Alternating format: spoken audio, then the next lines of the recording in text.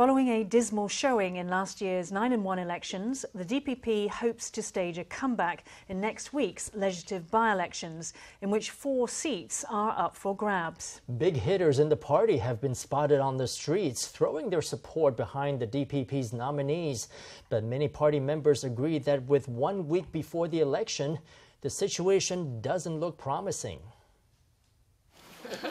Former Premier Lai Ching-te is in Tainan campaigning for Kuo Kuo-wen, who is a candidate in the legislative by-elections. Lai said his campaign was running an arduous race. The DPP is on its last breath. If we're all unable to realize this, we won't be able to get behind this last breath and make it count. I think we will really struggle. As the presidential office, Executive Yuan, and the ruling DPP struggle to deliver reforms that boost their public support, Kaohsiung Mayor Han Kuo-yu painted a bleak picture of the DPP's future.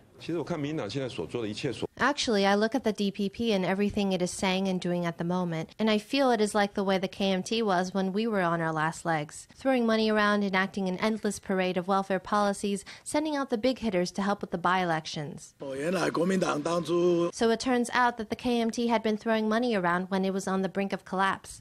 I finally understand what Han Kuo-yu is saying. It's true that the DPP's campaign isn't faring well, so everyone needs to work harder. In my current role as Premier, I hope to be able to eliminate public complaints. In response to Han's statement on the DPP, Su Tseng-chang posted to Facebook listing in detail the work he's undertaken in his 50 days in office. This work included efforts to combat the spread of African swine fever, implementation of gay marriage legislation, and providing assistance to farmers with distributing produce. The DPP is in fact in a severe slump right now, but I can also see that everyone is fighting to the last breath, fighting tirelessly for the sake of Taiwan. DPP lawmakers said that now was the time for introspection and party reform.